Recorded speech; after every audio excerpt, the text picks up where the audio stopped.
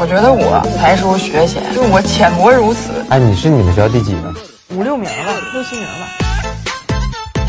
李雪琴不愧是北大毕业的，随便说句话都能让人掉一地鸡皮疙瘩，难怪如今不少神曲都找她来填词。这首在眼泪落下之前，通篇却没有提到一滴眼泪，仅凭一句“年轻的爱人总信奉覆水难收”，就让人遗憾了一万次。歌是李雪琴写词，然后我的歌叫做《眼泪落下之前》，送给大家。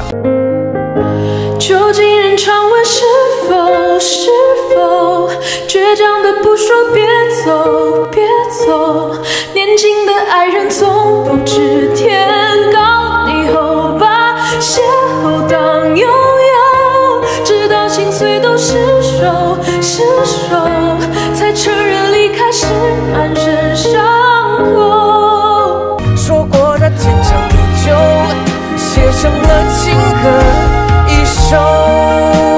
提到电影孤注一掷，不少人只知道金卫带回的拜佛名场面，但其实电影的官方主题曲正是李雪琴填词的，再加上杨宗纬的现场，每一句都把受害人的侮辱和诈骗集团的猖獗唱得超贴电影剧情。以为光阴一分一秒微不足道，可以任性无拘无束，心高气傲，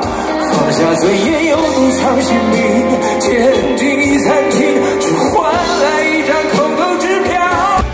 中的男主王传君更是被李雪琴的才华迷得不行，一个朋友圈文案直接让他诵读了一个晚上。只是一不小心答应了，替沉睡的麦子守一夜的月亮，从此夜夜赴荒原，夜夜盼无云。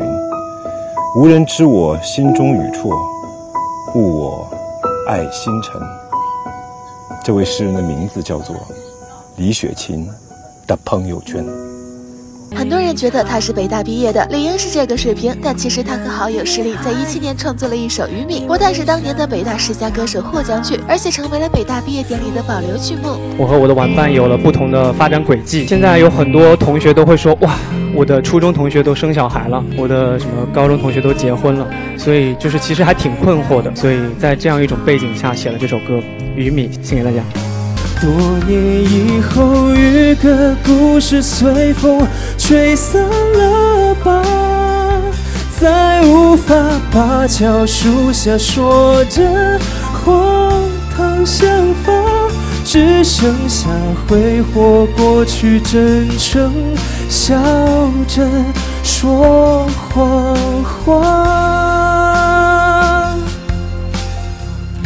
有人说他出口就是百万点赞的文案，是北大人独有的魅力；也有人说她只是文字直白且浪漫的女孩子。你被李雪琴的诗打动了吗？我们东北的家庭有一种习惯，就攒塑料袋儿。就今天不管是什么外卖袋儿、买菜袋儿，完就攒起来，放在一个柜子里，都琢磨到一起，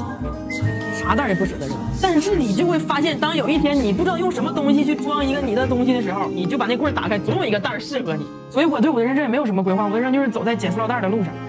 捡到啥就是啥，所以我觉得不管是学历也好，机会也好，运气也好，就都是我们人生路上的能捡到的一个东西。我觉得他们都是平等的，都是我们要攒在柜子里的。等我们真的需要装啥的时候，可以拿出来看看它能不能装下的那么一个。